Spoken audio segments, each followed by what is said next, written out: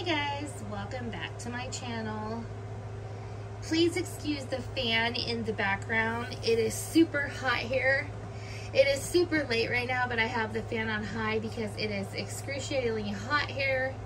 It has been between 103 and 105 degrees, and overnight it's only been cooling down into the 80s. So I have my fan running, and I have it on high, and I probably should have got up and turned it on low before I started recording, but I forgot and I've already started. So please, I hope you can hear me and you can excuse the background noise.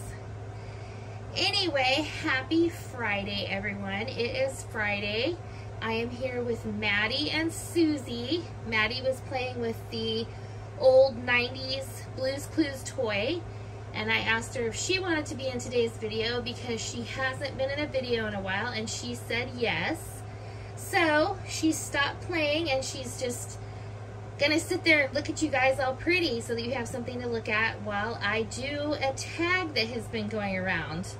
I watched several videos today with the tag and I know this tag is probably a couple of weeks old, but I still find it fascinating and interesting to listen to everyone's answers to the tag, so I am going to do the tag.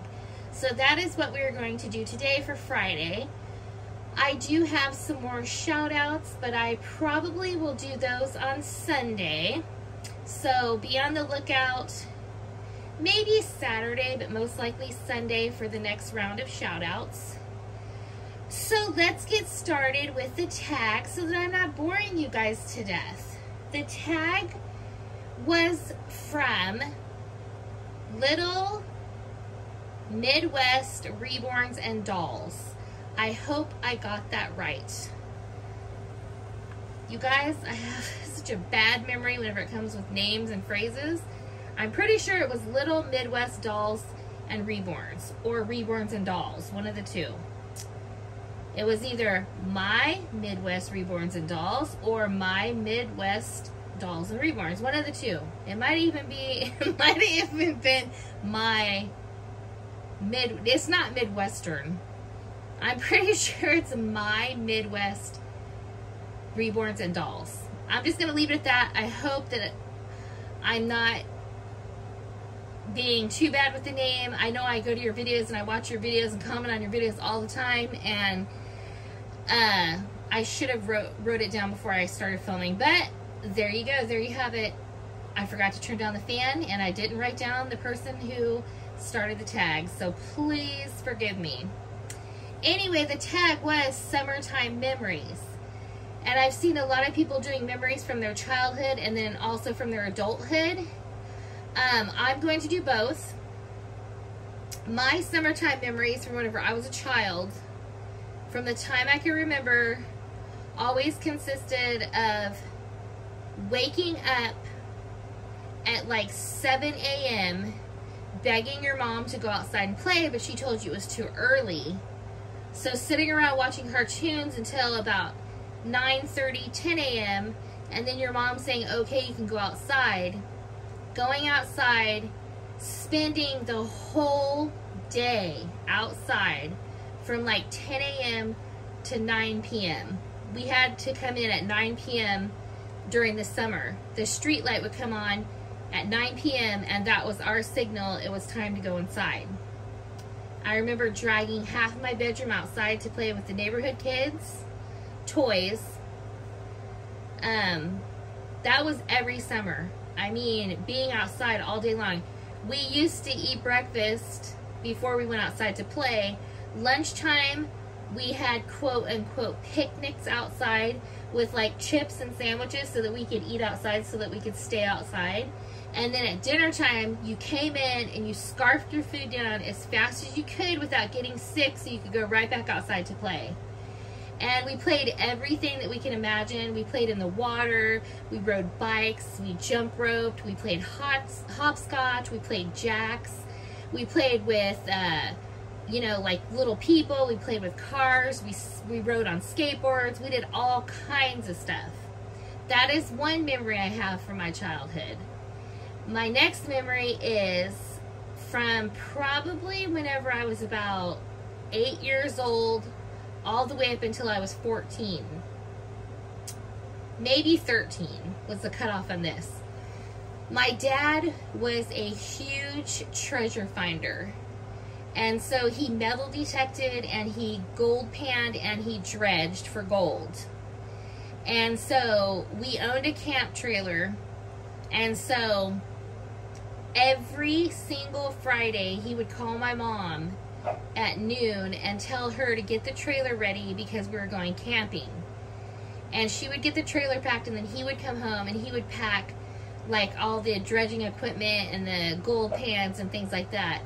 And we would be gone camping from Friday. We would leave Friday night after he got off work and we would be gone until Sunday night. And I remember, although it was fun to go camping, it was not fun to have to go every single weekend and not to be able to play with your friends during the summer that were only home on the weekends because I had friends who had divorced parents and they would be gone during the week and then they would be home, you know, where home where I lived on the block I lived on the weekends. And so I never got to play with them because we were always gone camping.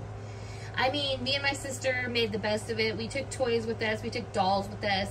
You know, we played in the creek, we picked flowers, we made little houses out of rocks and sticks, and we climbed trees and played in the dirt and, you know, collected rocks. And then um, my dad taught us to gold pan and I think I was able to gold pan by the time I was five years old. So we would dig, you know, the dirt out of crevices of rocks and pan them for gold.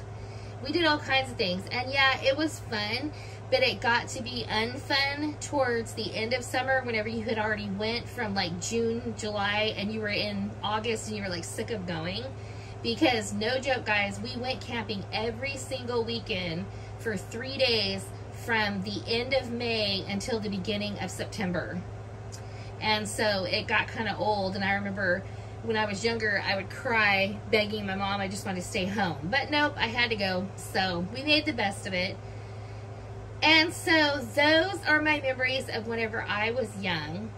Uh, my adulthood memories, pretty much, we don't really do anything anymore during the summer because of the simple fact that I freaking hate the heat, you guys. My favorite holidays are fall and winter. Um, spring I can kind of deal with, but summer I cannot. When I was a kid, I could stay outside in the heat all day long. It didn't matter if it was 105 degrees. I could stay outside all day long, drink out of the hose, have Kool-Aid, whatever, and be completely fine. I go outside now, and I don't know if it's just because I'm old and soft, but I go outside now, and after I'm out there for like half an hour, I'm like, let me back into the house with the air conditioning because I do not like this. So basically, summer as an adult, when my kids were little, they played outside like I did. They went swimming. We always had a pool for them. They went swimming all summer, you know, um, played with their toys, played with their cousins, rode their bikes, things like that. Kind of semi as to when I was growing up, only of course whenever I was growing up, it was super, it was a lot more safer to play outside when you were a kid than it is or was when my kids were growing up. So they did that stuff, but they didn't do it as freely as I did when I was younger. Some of you may be able to relate to that. Um, so yeah, my adulthood summers consist of going to town whenever I have to, when it's super hot, staying inside, and basically uh, doing things with the dolls inside because I, I guess I'm old and soft and I cannot tolerate the heat like I once did. So guys, that is the tag of my summer memories for childhood and adulthood. I hope you guys enjoyed watching this as much as Maddie, Susie, and I enjoyed making it for you. And until next time, bye guys!